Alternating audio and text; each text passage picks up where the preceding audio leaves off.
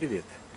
На предыдущее мое сообщение о том, что нужно завершать презентацию так, как будто ты закрываешь дверцу автомобиля, клац и закончил. Мне одна девушка, Наташа, написала, что так-то оно, конечно.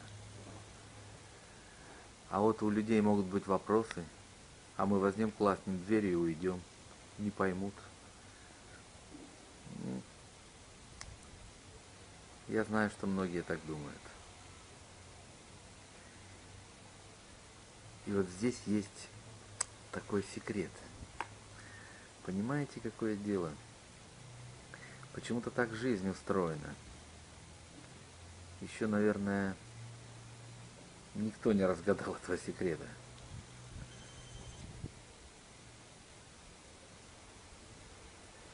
Почему-то так все устроено.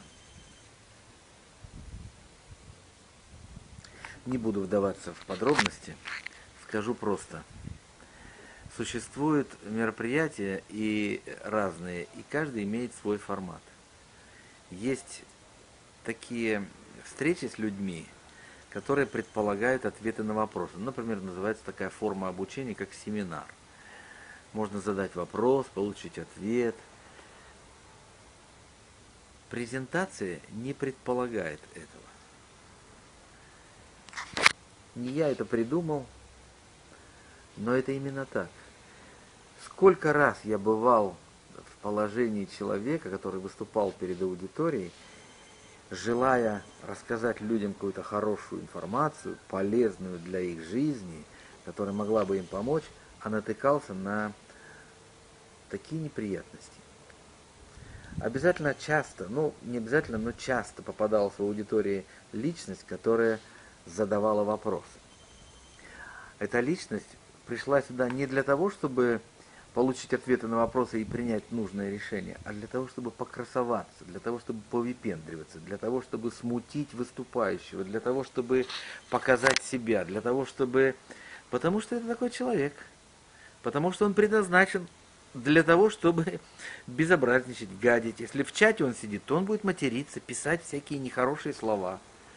Он нужен нам зачем-то. Я не знаю почему.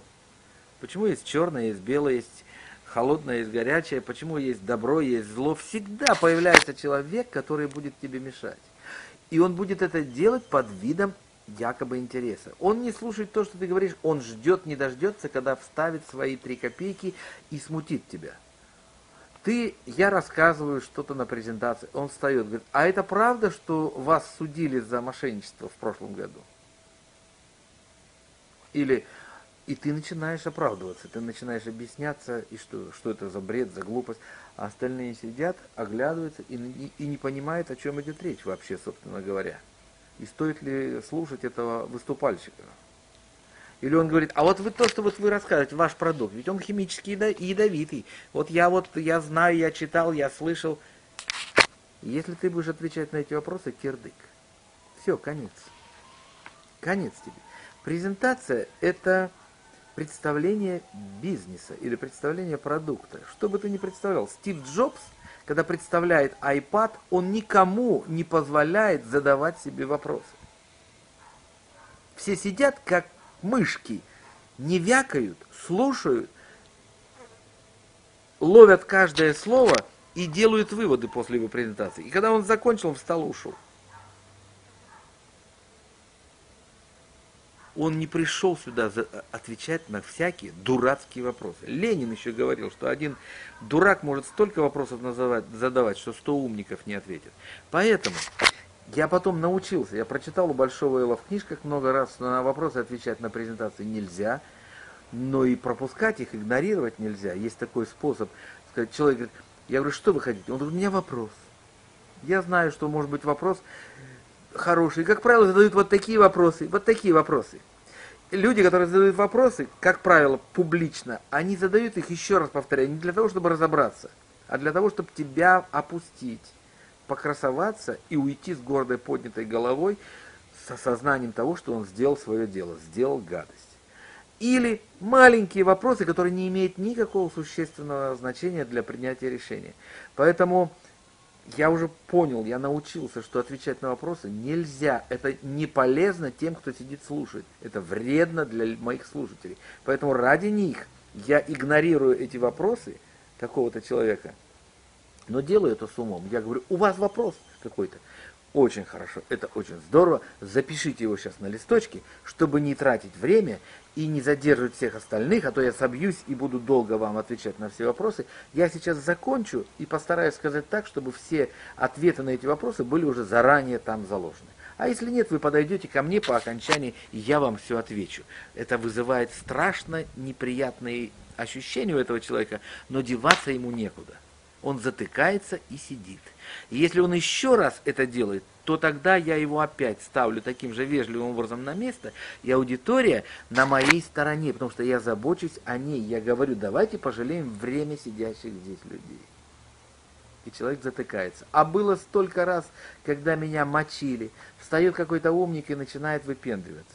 А потом, когда я говорю, когда закончится, подойдете, я вам отвечу. А что вы не хотите принародно отвечать? Я говорю, я же не могу всех держать. До свидания. Все, разговор закончен. То же самое происходит в интернете. Обязательно найдется скотина, другого слова я не найду, которая напишет матерное слово. Или скажет, это что, с удивлением, это что, пирамида? Поэтому чат надо выключать. Пошел вон. Я работаю для людей, которые пришли что-то узнать полезное, изменить свою жизнь. Формат презентации не включает в себя время для ответов на вопросы. Вопросов быть не может. Поэтому я-то говорил о другом, когда рассказывал о том, как надо заканчивать свою речь. Речь свою надо заканчивать решительно, быстро, не допуская, чтобы снова и снова, снова и снова, снова и снова, и еще вот это, еще вот это, еще вот это, и вдогонку уже последнему уходящему, который остался самый терпеливый, остальные уже давно убежали, ты ему еще, еще, еще. Вот чего я говорил. Ну а раз уж возник вопрос, что не надо отвечать, то это тоже очень важная тема. На вопросы на презентации не отвечают публично, а если отвечают, то только в кулуарах. Желаю вам удачи. Думайте над этим.